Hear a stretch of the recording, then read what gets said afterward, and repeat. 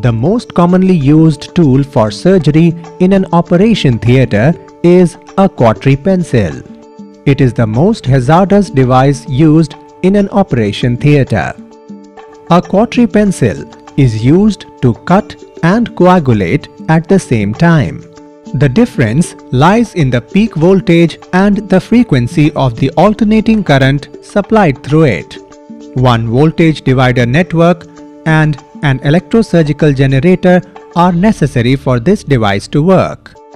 The pencil also includes at least one activation switch supported on the housing which is configured and adapted to complete a control loop extending from the source of electrosurgical energy. Newtech Medical Devices offers cautery pencils which are compatible with all the electrosurgical generators.